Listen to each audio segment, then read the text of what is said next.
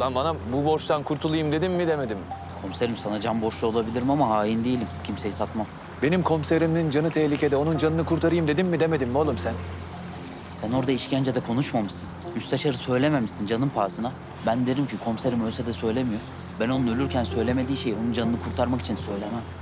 Lan kime gidecekler? Ya sana gelecekler, ya MKC'ye gidecekler ya da babama gidecekler. Başka kime gidecekler? Gönlümü almaya çalışıyorsun. Bana en yakın üç kişiden biri sensin diyorsun. Ama gönül böyle alınmaz. Sen beni tanımamışsın. Duygusallık yapma lan bana. Duygusallık yapma bana. Yaparım. Birbirimiz için kurşun atıp kurşun yiyorsak zaten mesele duygusal. Beni burada suçlu gibi sorguluyorsun ya. Ağrıma gidiyor. Kes Ömür sesini. Kes. Al şunu. Kimsenin haberi olmayacak. Bir sen biliyorsun, ben. Hatta bir tek sen biliyorsun artık. Ben polis değilim çünkü. Bunların fotoğraflarını çekiyorsun, bir tek bana gösteriyorsun. Tamam mı? Yalnız ben bu köstebeği bulursam yaşatmam. Baştan söyleyeyim. Mito. Konu kapandı. Yalnız bir konuda haklısın abi. Ben epey korktum. Gel bırak, gel. Korkacak bir şey yok kardeşim benim. Hadi. Yüksel Amir'i arayacak mısın?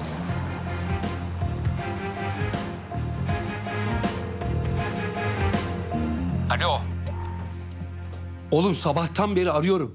Lan telefonunu açıyorsun görmüyor musun en az 45 defa aradığımı? Dinliyorum amirim. Bana bak. Acele hemen birime gel. Ankara'ya gitmem lazım. Gitmeden önce seninle konuşacağız.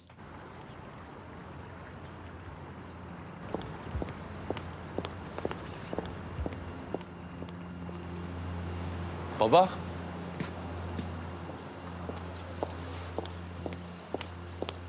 Buradan doğru eve gidiyoruz. Evde mi sarılacaksın? Mustafa Kerimcan nasıl? Sen burada mısın? Lan hangi cehenneme gideceğim buradan? Baba MKC bu iş hasta hasta. O senin için hasta hasta, çocukluk arkadaşın için hasta hasta. Ulan Ya baba birime gideceğim yok bir şey merak etme. bana bak ben burada seni bekliyorum. Geleceksin buraya. Seninle beraber kokoreç yemeye gideceğiz. Baş başa. Tamam. Orada mı sarılacağım bana? Hayır. Yürü git lan yürü git hadi. Kanalımıza abone olarak tüm videolardan anında haberdar olabilirsiniz.